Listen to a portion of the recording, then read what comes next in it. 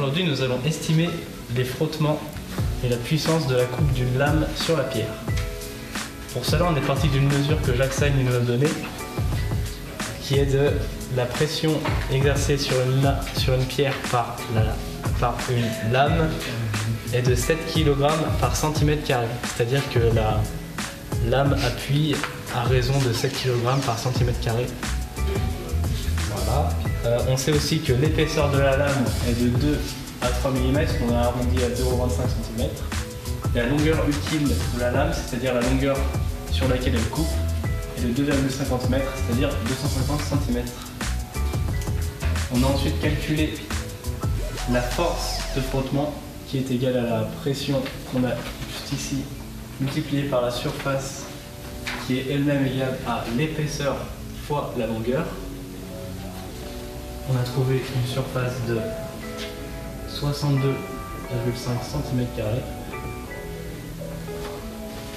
Ensuite, on reprend F est égal à 7 fois 62,5 est égal à 437,5 kg. Ce qui fait F est égal à 4375 newtons.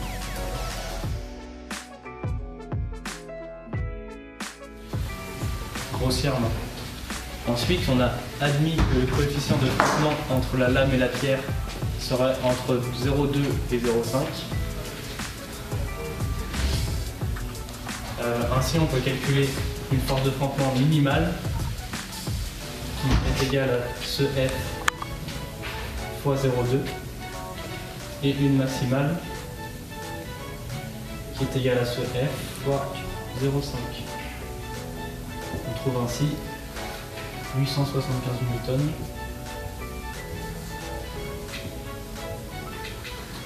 et 2187 pour ensuite estimer la puissance de coupe de la lame, nous devions avoir une idée de la vitesse de coupe. Pour cela, nous avons observé quelques roues à eau.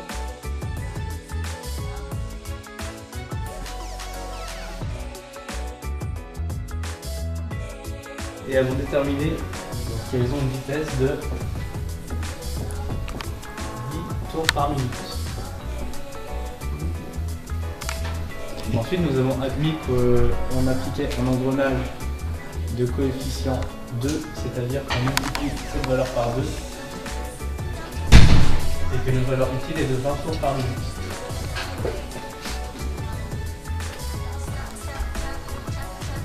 Ce qui représente un tour en 3 secondes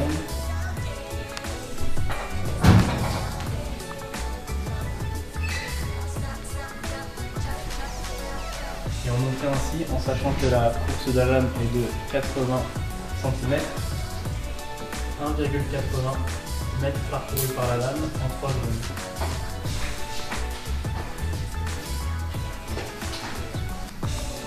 Nous donne 0,6 m en une seconde. Ensuite, la formule de la puissance, c'est tout simplement P est égal à la force qu'on a trouvée ici fois la vitesse de coupe. On trouve ainsi, en prenant la valeur maximale, 2187,5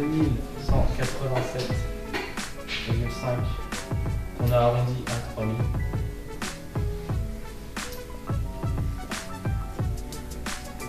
Fois 0,6 est égal à 1,8 kW. Et voilà notre puissance de.